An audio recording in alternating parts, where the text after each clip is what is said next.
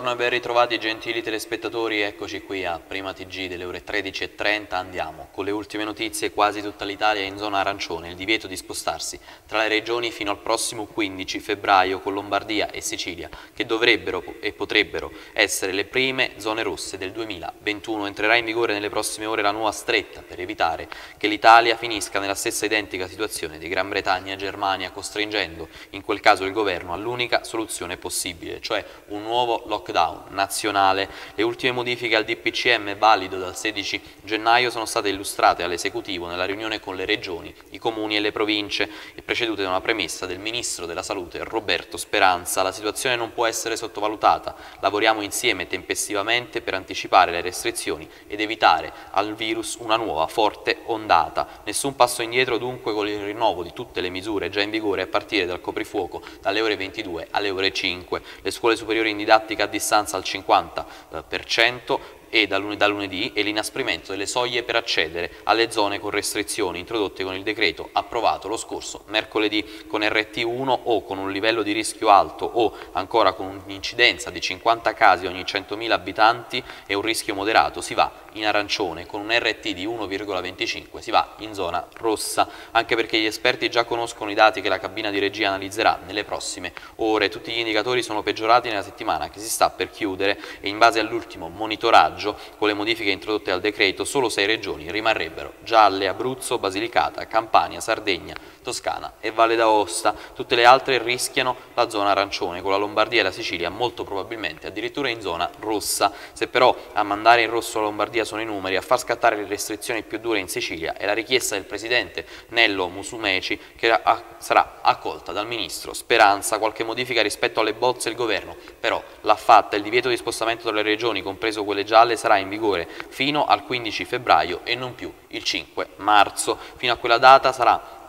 Invece è valida la regola che consente una sola volta al giorno ad un massimo di due persone di andare a trovare parenti o amici nella propria regione se questa è in zona gialla o nel comune se è in zona arancione o rossa e sempre fino al 5 marzo sarà possibile spostarsi nelle zone arancioni dai comuni con una popolazione non superiore ai 5.000 abitanti per una distanza non superiore ai 30 km e mai verso i capoluoghi di provincia. Il governo ha poi confermato il, um, il divieto di asporto per i bar dalle ore 18 2018, provvedimento fortemente criticato dalle regioni, non porta vantaggi significativi sul piano della prevenzione e, al contrario, rischia di rappresentare un ulteriore fattore negativo di tensione sociale ed economica sui territori, ha detto il Presidente della Conferenza Stato-Regioni, Stefano Bonaccini, a nome di tutti i governatori. Durante la riunione era stato il Ministro per gli Affari Regionali Francesco Boccia a rispondere sottolineando che l'esecutivo avrebbe mantenuto la norma per evitare casi di movida, ma Palazzo Chigi e il Mise sarebbero messi a lavoro per limitare al massimo massimo i divieti alle sole bevande e alcolici. Nella bozza entrata nel Consiglio dei Ministri però di modifica non c'è traccia, sempre Boccia ha garantito nonostante la crisi di governo massima priorità per i ristori a tutte le attività costrette a fermarsi, tra queste c'è anche lo sci, gli impianti non riapriranno almeno fino al prossimo 15 febbraio nonostante alcuni presidenti chiedano che almeno nelle zone gialle sia consentita l'attività ai soli residenti, chiuse anche palestre e piscine anche se si continua a lavorare per consentire la ripresa almeno delle zone gialle eh, degli sport individuali così come dei cinema e dei teatri. Tornano invece le crociere ed è confermata l'apertura dei musei, ma solo nelle regioni gialle e solo nei giorni feriali. È un servizio ai residenti, ha sottolineato il ministro Dario Franceschini, è un primo passo, un segnale di riapertura per il futuro. Non l'unico, con il decreto viene introdotta la cosiddetta zona bianca, in cui le uniche restrizioni sono il distanziamento e l'uso della mascherina, ma i parametri per entrarci tre settimane consecutive di incidenza di soli 50 casi ogni 100.000 abitanti e un rischio basso fanno sì che ci vorranno mesi prima che una regione possa trovarsi.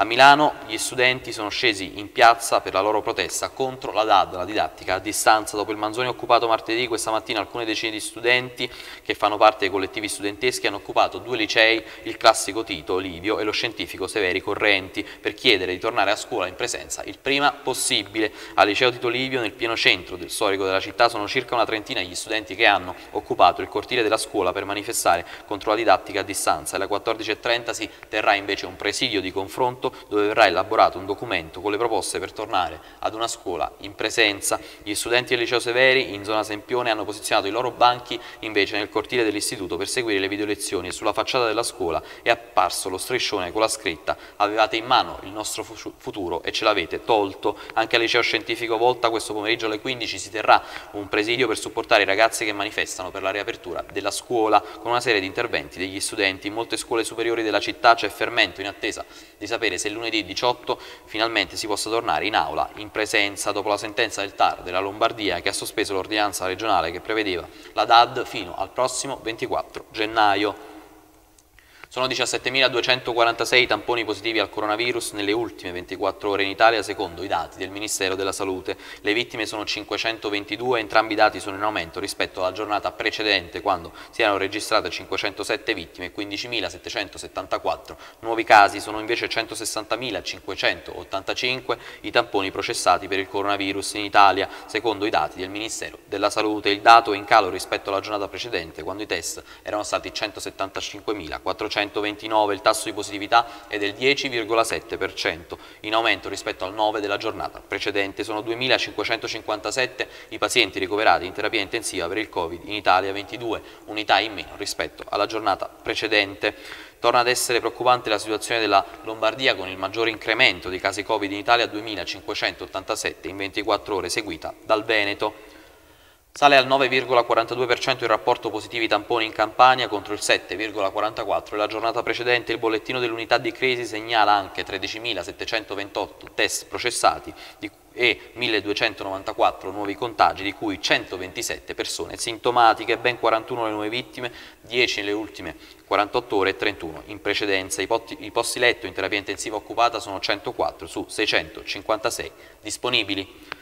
L'ex premier e leader di Forza Italia Silvio Berlusconi è stato ricoverato d'urgenza in un ospedale del Principato di Monaco per degli accertamenti urgenti in ambito cardiologico. La notizia è stata confermata dal medico personale di Berlusconi, il dottor Alberto Zangrillo, il quale ha spiegato di aver deciso lui per il ricovero dell'ex presidente del Consiglio per un problema cardiaco aritmologico. Sono andato di persona a visitare Silvio Berlusconi questo lunedì, ha detto Zangrillo, e dopo averlo visitato ho disposto il ricovero urgente al centro cardiologico del Principato di Monaco perché non ho ritenuto prudente affrontare il trasporto in Italia ha cercato di inquinare le prove, per questo il GIP di Napoli, al termine delle indagini dei carabinieri del NAS e della Polizia di Stato, ha deciso l'aggravamento della misura cautelare che da interdizione della professione medica combinata lo scorso 3 novembre, a cui è stata trasformata oggi in arresto domiciliare, si aggrava la posizione del noto dirigente medico dell'Istituto Nazionale Tumori di Napoli, Raffaele Tortoriello, che, secondo gli inquirenti della Procura, del NAS e della, PS,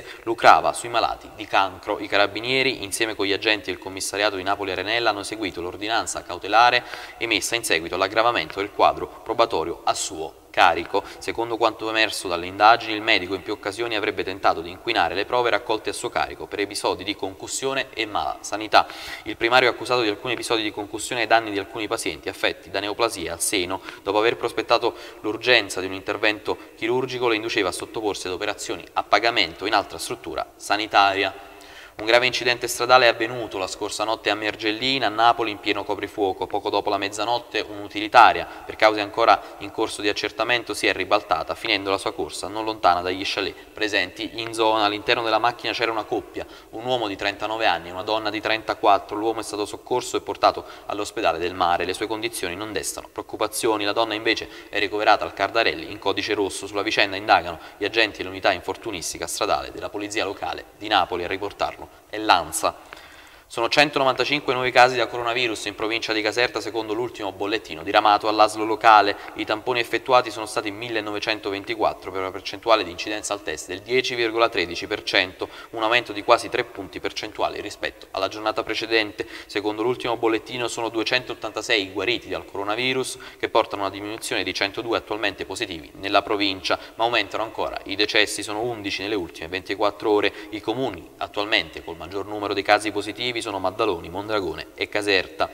Il sindaco di Presenzano, Andrea Maccarelli, ha parlato della situazione Covid nella sua città. Andiamo ad ascoltare le sue parole. Eh, ma invece devo constatare eh, che solo nella giornata odierna eh, abbiamo quasi superato le 10 positività.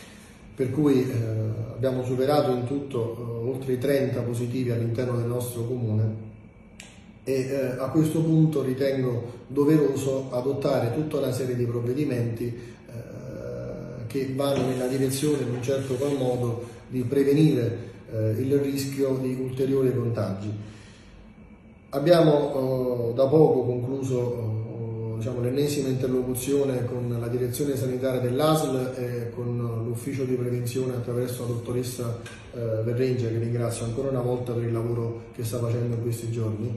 E, eh, Presenzano, come avete sicuramente saputo, è uno dei comuni attenzionati dall'ASL perché in base al rapporto tra eh, popolazione e positivi eh, l'indice eh, denota diciamo, un certo allarmismo.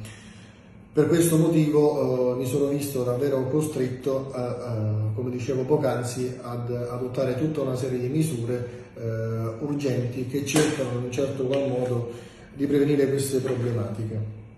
Per cui eh, con decorrenza immediata e fino a nuove disposizioni sarà innanzitutto vietato entrare ed uscire dal territorio del comune di Presenzano per chi non è residente o domiciliato sono consentiti esclusivamente spostamenti individuali temporanei motivati da comprovate esigenze lavorative, situazioni di necessità, motivi di salute o assistenza ad un proprio anziano diversamente abile. Resta comunque ferma la necessità di adottare comunque le misure necessarie di distanziamento sociale e di prevenzione già previste per tutta la popolazione. Chiaramente quando parliamo di motivi di necessità facciamo riferimento a tutti quelli che attengono alle esigenze primarie delle persone, da esplicarsi per il tempo strettamente indispensabile, incluse le esigenze degli animali d'affezione previa esibizione di autocertificazione. Sarà vietato ogni spostamento all'interno del territorio comunale. Sono consentiti esclusivamente spostamenti individuali temporanei motivate da comprovate esigenze lavorative, situazioni di necessità, motivi di salute o assistenza di un proprio anziano diversamente abile o per usufruire di servizi non sospesi previa esibizione di idonea autocertificazione. Le entrate presso le attività commerciali dovranno essere contingentate in base all'ampiezza dei locali. Sarà possibile recarsi presso gli esercenti dei paesi immediatamente più vicini solo nel caso si abbia bisogno di alimenti necessari ed introvabili negli esercizi commerciali del paese, come per esempio per gli alimenti eh, per chi ha delle intolleranze e quant'altro.